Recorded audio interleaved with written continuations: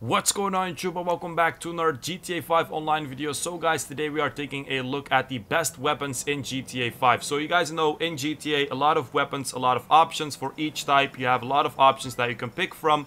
So today we're just going to go over the entire weapon wheel. I will tell you guys the best guns in my opinion for each type. And then at the end of the video, you guys will have a good custom loadout. So first of all, the pistols, we'll start at the top. The first one, basically the Up-n-Atomizer, it's not really a pistol maybe, but it's definitely a gun that you need in GTA. The main reason why you need this is basically in missions, for example in delivery missions, in resupply missions, sometimes you have it that a vehicle gets stuck and if you have the Up-n-Atomizer you can definitely use it to get this vehicle unstuck so it's definitely a must have.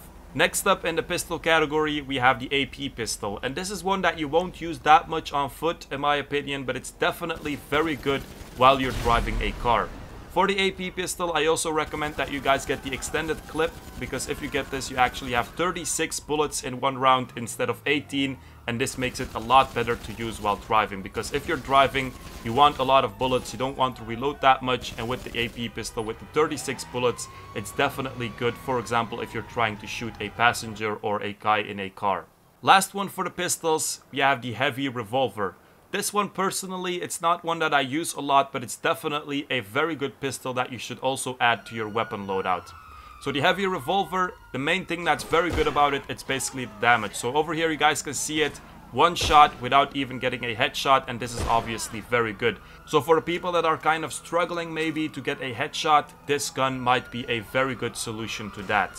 So over here on purpose, not shooting them in the head just to show you guys that it's also one shot, one kill.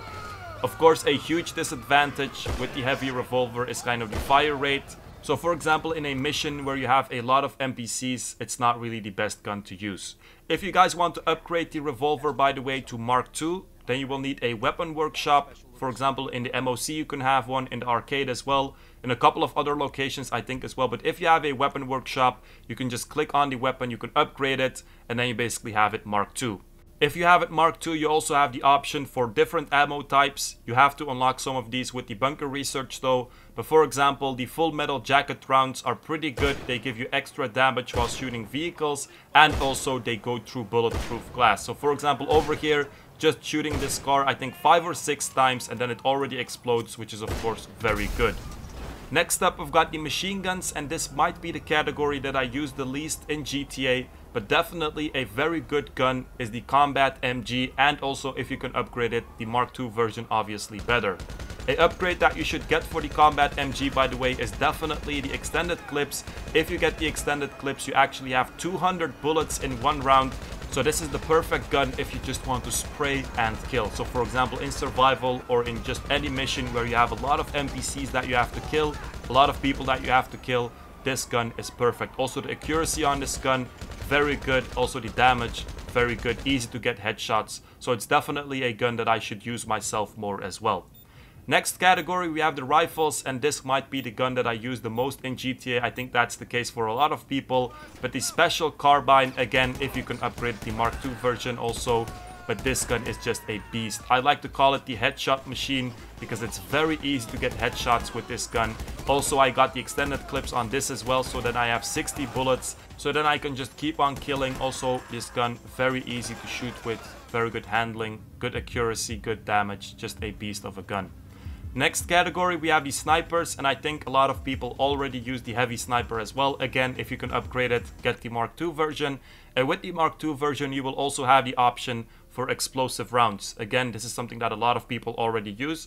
The thing is, of course, with the explosive rounds, they're a little bit more expensive and also you have a lot less of them. So for example, if you just want a regular sniper, you can also just get the extended clips and then the heavy sniper will also be a beast. The main reason why people get the explosive rounds, by the way, is just to take out helicopters or, for example, Hydras, because it's very fast, so the bullets are very fast, you can't dodge them, and I think for the Hydra it's like 2 or 3 bullets before it explodes, so that makes it very OP as well, of course. Next category, we've got the shotguns. First one, the assault shotgun. So for this one, again, I have a couple of options that you guys can put in your loadout. But the assault shotgun, definitely one of my favorite guns in GTA. Very good fire rate. The range is also incredible for a shotgun. Very easy to get headshots as well. The damage is also crazy. So even if you miss a headshot, you can just keep on spraying and then you will still get the kill. For example, in the Cayo Perico heist, you can use this weapon if you're trying to do it on stealth. If you miss the headshot, so the first shot, you can actually keep on spraying and then the guards actually don't get alerted.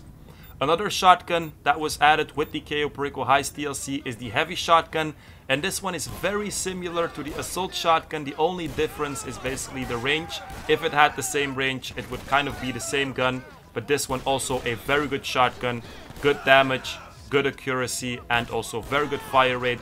It's just the range that kind of makes it a little bit worse than the assault shotgun. But also, if you don't like the assault shotgun, for example, you can also put this one in your loadout. Next category, we've got the heavy weapons. For this one, obviously, one isn't enough, so a couple that you guys should have in your loadout. But the first one, basically the grenade launcher. This might be the one that I actually use the most, but it's very easy to blow up vehicles with this one. Very good fire rate, so you can actually blow up stuff very fast as well. If you guys want to take out a helicopter with the grenade launcher, by the way, also perfectly possible. The aim is kind of hard though, so you might miss a lot in the beginning, but definitely also possible. The thing is though, the range of the grenade launcher isn't that great. Next up for the heavy weapons, we have a must-have, the RPG. Better range than the grenade launcher. The fire rate is lower though, because you basically have to reload after every rocket. Easier to take out aircrafts though, and also the thing of the RPG, the damage is much higher. So for example, over here, I have my Insurgent pickup. I think with the Oppressor Mark II, if you want to take it out, it's 27 bullets and over here with the RPG I think it was like 5 or 6 so a lot more damage than homing missiles for example.